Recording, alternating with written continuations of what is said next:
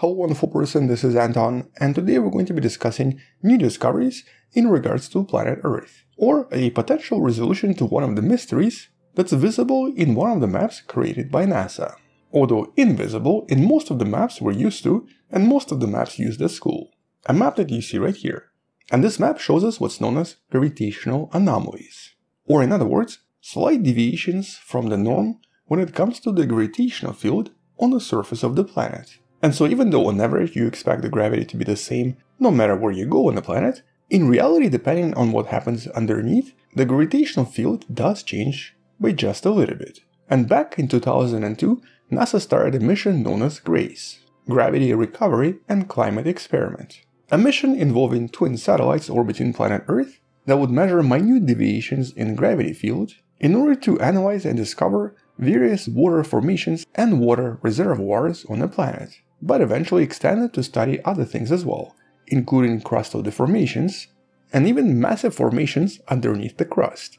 And this mission was conducted for over a decade, allowing NASA to create a very accurate map of planet Earth when it comes to gravitational field anomalies. And some of these unusual anomalies we've already discussed in previous videos, although the most famous ones were usually referred to as positive gravity anomalies, basically where the gravity is higher than it should be. Intriguingly, the biggest positive anomalies on the planet are associated with what's known as LLSVPs, large low shear velocity provinces.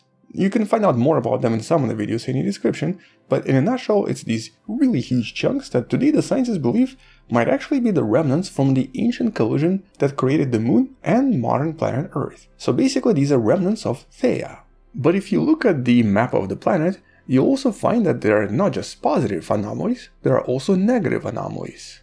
Here's I guess the more detailed version of this map, available directly from NASA, that shows you most of these anomalies in different color. And so the blue patches, especially the one that you see right here, are various regions on the planet that do exhibit slightly less gravity than the rest of the planet. And though some of them are quite obvious, like this is the Mariana Trench, the deepest trench on the planet. Here's what it looks like in contrast to the largest oceanic range known as the Mid-Atlantic Ridge. These are basically underwater mountains that you would not be able to see from the surface. Some of these anomalies even today are still unexplained. Now here we're not talking about Himalayas, although it is actually related to this. We're talking about that blue patch you see in the middle. This is the so-called gravity hole, an unusual gravitational anomaly in the Indian Ocean that for the longest time has actually been completely unexplained. And unexplained for one reason. In pretty much every case, the negative anomalies are either the result of ocean trenches or a lot of other depressions in the landmass. For example, like the ones you see right here in North America, they were most likely formed by ancient glaciers that were pressing on the surface and squished it just enough to reduce overall gravity, or in some cases, the presence of some kind of a low density formation inside the mantle resulting from the interaction of the mantle itself. But all of these anomalies so far had some kind of an explanation, usually related to the detection of something underneath that spot, or a result of very thin crust, like the one you see right here in Africa, that was caused by the continents being stretched by the mantle underneath. And so technically you can summarize all of this as five potential explanations, either the thinning or thickening of crust, mantle, or sometimes both. But the actual changes here are very minute. They would not be perceivable to humans and they would actually not be detectable by anything other than very powerful instruments. Here the differences are basically as if the planet was maybe 100 or 200 meters higher or lower. Although here I guess a bit more explanation is probably necessary. These changes are measured in the unit known as gal, named after Galileo. 1 gal is equivalent to 1 centimeter per second squared, and technically the gravity on Earth is roughly around 976 gal, but it does change based on the altitude and based on the location.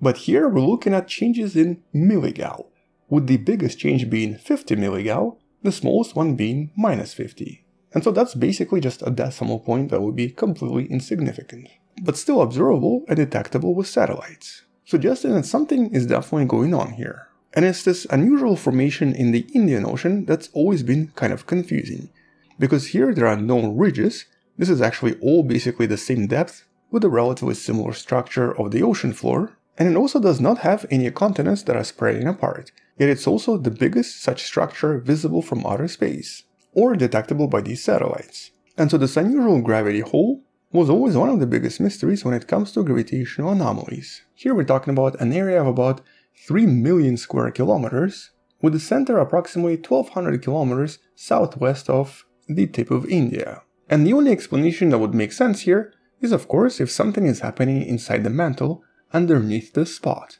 But what? And so to try to figure this out and to try to answer these questions, the scientists whose paper you can find in the description decided to rely on various computer simulations trying to recreate Earth in the last 200 to 300 million years, and to then see what actually evolves over time as the planet undergoes various geologic changes and as various plates interact, creating new continents and destroying some in the process. And following 19 different scenarios, six of the simulations seem to produce something very similar. They resulted in a gravitational anomaly that seemed to be produced by a low density area surrounded by very large, hot plumes. Or to rephrase this, it seems to be a result of some kind of an ancient ocean sinking underneath and producing the low density, low gravity anomaly, but also surrounded by relatively large plumes of molten rock that are now rising at the edges where this ocean used to exist. With the exact explanation being as follows. It all starts approximately 120 million years ago. This is following a breakup of a very large supercontinent known as Gondwana. At this point, chunks of the continent start to create various smaller continents, with Africa and India separating from the rest and now traveling a little bit to the north. Actually, one of the best ways to imagine this or to try to visualize this is by using the link in the description with the visualization created by Ian Webster. And so here about 105 million years ago, the continents start to slowly separate, and India that you see right here and Africa start to move in the northerly direction. But at this point, there's this really large sea, or I guess technically an ocean, that's known as Tethys. This ocean was located between supercontinents of Laurasia and Gondwana and existed for millions of years, much longer than most oceans on the planet today. But approximately 120 million years ago, things on the planet started to shift around. And so here's the planet approximately 90 million years ago, here's Earth when the dinosaurs perished, here's Earth 50 million years ago, and here's Earth 35 million years ago when India has now rammed into Eurasian continent and has now begun forming Himalayas. And so as you can see, India advanced through this region really quickly. But as it did so, it sort of pushed on the ancient ocean, forcing it into the mantle underneath the crust and at the same time created a completely new ocean that we now refer to as Indian Ocean. Or in other words, it completely destroyed Tethys and instead formed a new region right here. And then within the next few million years, it moved a little bit to the north, with the planet now resembling this. And so the geologists behind this paper believe that these are remnants of the ancient Tethys seafloor, with the anomaly forming in the last 20 million years. With the anomaly taking shape in the last 20 million years, most likely because of the interaction between that ancient ocean and the hot plumes on its edges. With a study also suggesting that this is not something that's going to last for a very long time and will probably disappear within the next few million years.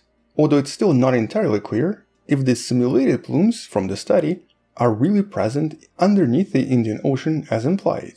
They haven't really been detected by any studies previously, but then again we do have certain plumes on the planet that really only make themselves known once major volcanic eruptions start. These types of plumes are responsible for the islands of Hawaii and also for massive eruptions in Iceland or in other locations normally in the middle of the continental plate. And so it could lead to some major volcanism in the next few millions of years if these plumes do make it to the surface. At least that's one of the implications from the paper. But the main finding is that, well, this anomaly is probably the remnant of an ancient ocean that existed for millions of years, making this the best explanation for this gravitational anomaly as of today. But if you'd like to learn about other anomalies we discussed previously, check out some of the videos in the description. On that note, thank you for watching, subscribe, share this with someone who loves learning about space and sciences, come back tomorrow to learn something else, and maybe support this channel on Patreon by joining channel membership or by buying the Wonderful Person t-shirt you can find in the description. Stay wonderful, I'll see you tomorrow, and as always, bye bye.